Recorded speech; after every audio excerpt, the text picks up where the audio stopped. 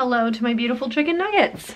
We're gonna vlog today, 4 p.m. and I'm just getting ready for the day. I don't know if anyone else's work schedules go bonkers this time of year. I'm in a lot of like pre-holiday rush zone to get a lot of work projects done before people completely disappear from corporate America for like the entire month of December and you can't get a hold of them to get any approvals. Literally just putting makeup for my first time on my face uh, at 4 p.m. today, but it is what it is. This video is actually sponsored by Merit, which is a brand I've worked with in the past. They've just provided some products for me to use today. First up being the Great Skin skin serum. I have really, really scaled back my skincare routine. I'm working with a dermatologist because I had some hormonal acne that was pretty stubborn, so I was kind of hesitant to try this, but I got this a week ago in the mail and I have no negative side effects to speak of. You can apply this before or after moisturizer. I've tried it both ways and it's great.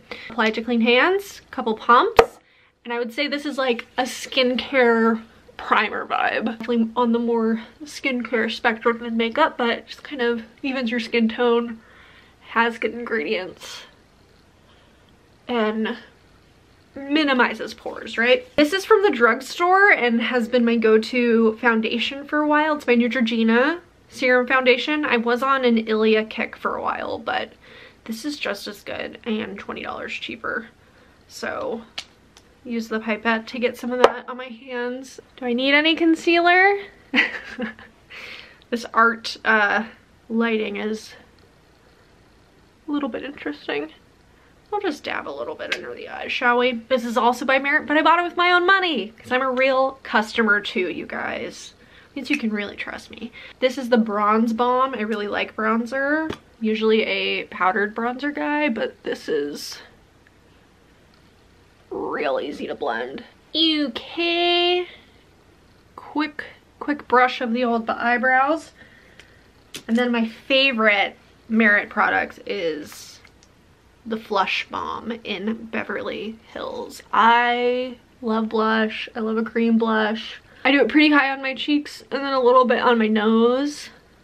Tap it in. Requires almost nothing of you. And then you're done. Okay. I have a code in my bio if you want a discount on Merit products. I really, really recommend them. I feel like they're a grown-up version of some of the direct-to-consumer makeup brands that you may already know and love, like Glossier or whatever.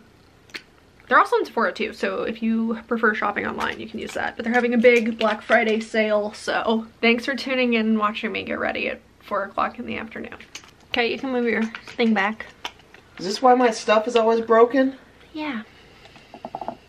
This is bullshit. Look at this art house lighting on my new perfectly applied makeup. Do you love it? Is My it drama? nightstand. Is it drama? I also bought myself a chocolate advent calendar for the holiday. Uh, how do I open this? Didn't we consult the blog about whether or not I need a 55 inch or 65 inch TV and everyone was pretty much on my side? No, that has never happened, but I like your revisionist history there. I think it was. I think that is what happened. Spoiler alert for this holiday vlog, everyone. We will be going to Best Buy today. Probably. What size is this? 32? No, this is like basically 50. No, it's not. This is a 32 inch TV and it's already huge. Kiki's on a sick one. God. Oh my god, Kiki. Stop moving this to videos on. Uh, that was my tripod during my glamorous makeup tutorial. Some things have happened in the house that I can show you. One, we have an arch right here in the doorway now, and this entire room is drywalled. Very exciting. My dog has depression. It's nothing new.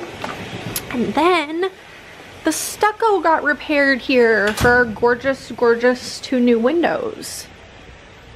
We're not gonna paint for like a year, so this is gonna look pretty bad, but it's all covered and insulated now. It's pretty exciting, right? Um, We also dug up all of the concrete. This was all concrete here.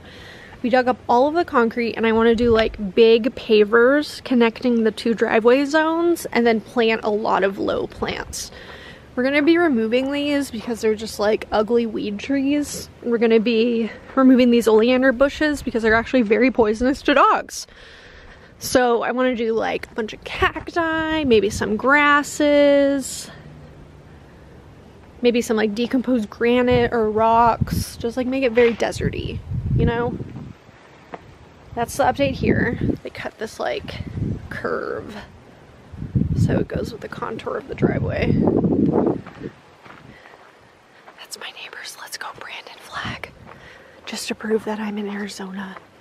Isn't that cursed? Isn't that the worst thing you've ever seen? They're literally in their 80s. It's like, get a freaking hobby, you bigots. Um, that's my dog. Those are our house updates. Shall we do a reading update? I think we shall. So I just reread The Secret History for Jalen's book club. I haven't read this since I was probably very early 20s and I remembered loving it and can't say that was my experience on the second time. I'm very interested to see of the participants who are reading this for Jalen's book club if they felt the same. I found it incredibly corny from the characters to the writing to the plot from the twin incest from the setting. Um, it's just kind of not what I look for in a book at all anymore and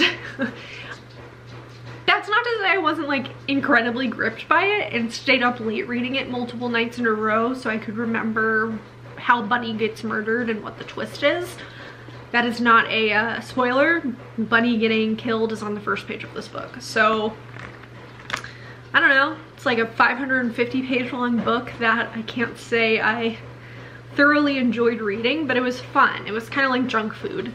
And sometimes you need junk food. came along when I needed it the most, which was during a very busy work season and when I just kind of wanted some escapism and kind of low stakes because I had already read it, right? Interesting. That's that's the Donna Tartt I read. I want to watch, I want to listen to the podcast now that goes about her and that's like, I think it's fictionalized about her and David Foster Wallace's time at Bennington College. Maybe it's real, I don't know. I hear it's scandalous and fun, so maybe I'll eventually get to that. I'm also reading How to Read Now, which is a Sunny's book club pick. It's a collection of essays about critical thinking and reading, reading in this current landscape, and how to use your brain. Lots of big chunky theory stuff in here. It is mostly landing for me, but not all of it, which I think is interesting and will make for a good book club discussion, which is this Saturday, so we'll see. We'll see there. I've never read her fiction, but uh, this is obviously something I think about a lot, is being a reader, how to digest media, how to digest fiction, really. talk about more of that on the live stream. and then last night I picked up The Goodby People by Gavin Lambert. This is one of those, is it McNally editions? How do I know? Yeah, this is one of those McNally edition books where they have the the flap cover where it has the image on it, which I love the book design of, but it's kind of impractical and annoying when you're reading it. This is set in like 50s, 60s LA uh, it's blurb to be compared to Christopher Isherwood's kind of writing style. He wrote A Single Man, which I really liked reading a couple of years ago. And I feel like it's going to be very rich character studies of the kind of characters that you can imagine inhabiting a California landscape in the 50s and 60s. The first woman that I read about last night is named Susan Ross kind of an interesting ex-model starlet who married a ugly man for love, not money. And she is navigating her life post his death. kind of unsure who the narrator is who's telling us these stories. I need to maybe reread that once I uh, get back into the book, but it's a writer. So maybe a little autofiction vibes here, a little early autofiction. I'm liking it. it feels gossipy. Happy Thanksgiving. Happy day. Happy Turkey Day. Happy day. Happy Corn Pudding Day. Happy snack day. Happy snack day. Happy day. Happy. Happy day. Happy days day. Okay. Um, last year you got the Kiki special of Thanksgiving. That was last year. Oh my god, it was. Yeah. I am missing that. We're not cooking this year, which is weird. I should be I should be frantically running around the kitchen, drinking delicious pumpkin beer, Mm-hmm. telling Joe to turn the TV down. Mm-hmm. You'd probably still be in your pajamas. As God intended. Uh and it just it's not cold. Nothing nothing is Nothing's making sense. nothing is festive. in our neck of the woods. But I'm the one who cooked this year. I made a. I am. Okay, you you did I don't know, the cooking. I. How is making a pie and making that dip not cooking? That's baking and making a snack. Okay. Well, I made two dishes to contribute to our family Thanksgiving. Not Kiki. Made zero. I made zero, but I did some dishes. Yeah. I'm gonna go over to my mom's house in a bit after my pie's done. My dad's here. Do you want to say hi to him? Hello, everyone. Yes, I'm here. Happy Thanksgiving. 11 years ago today, I received the gift of life, a liver transplant. No turkey that day. Peace out. Okay. You heard him, folks. Um, we got a new TV last night. a 55 incher, much to my chagrin. Kiki talked me into it.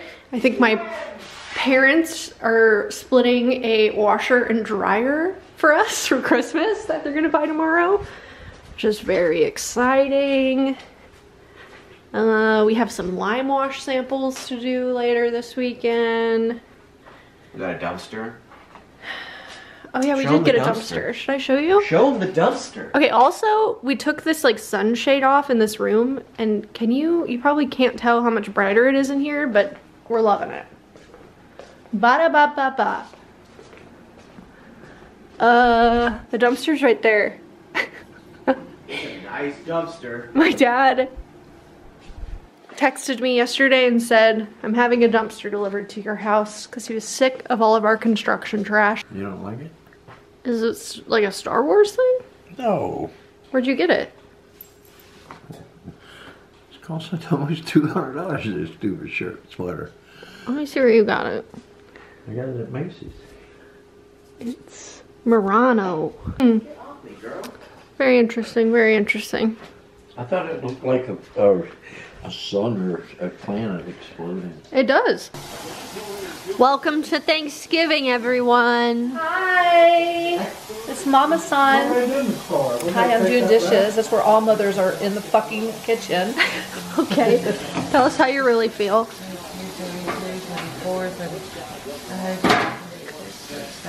Dad, Dad, look at Ciara. Papa. Say hi to all my devoted fans. Hello, everybody.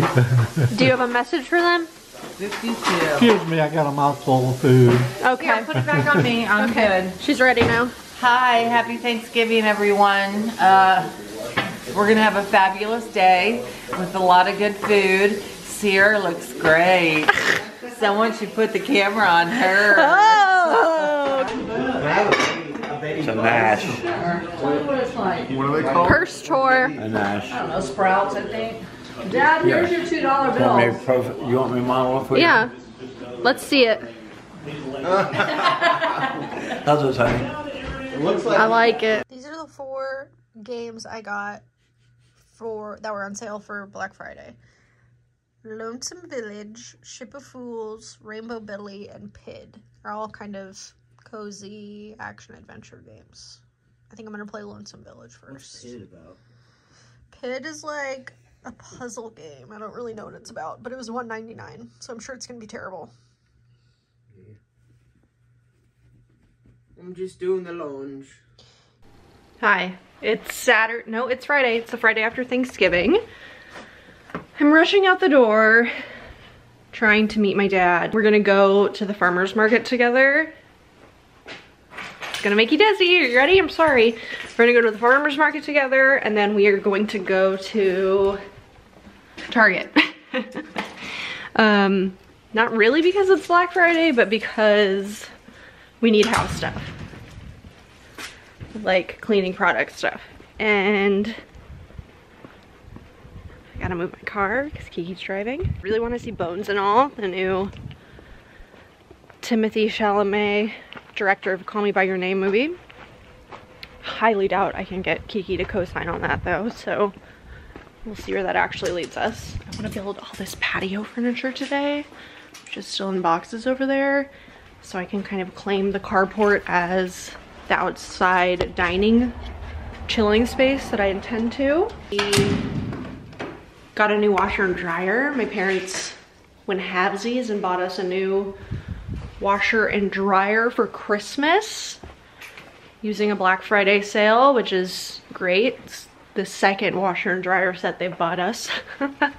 they did that a few years ago at our Portland house. Um, very generous, very lovely. So we got to prep for that. And then also I am doing a small business Saturday sale for Sunny's this weekend. Only sale I'm doing this year. So I'm going to get this up tonight. So if you see it tomorrow on Saturday, there's still time. 20% off site wide. Help me, help me get rid of some of this stuff, you guys. Come on. Come on now.